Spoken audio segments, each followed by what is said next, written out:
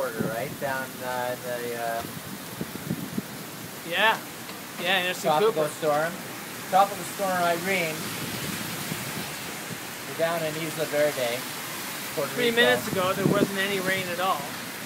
Before you know it, just came up just like that, without any warning. Trapped under the side of a building, taking shelter. While we wait for it to either blow over or just get stronger. Looks like Stronger's winning.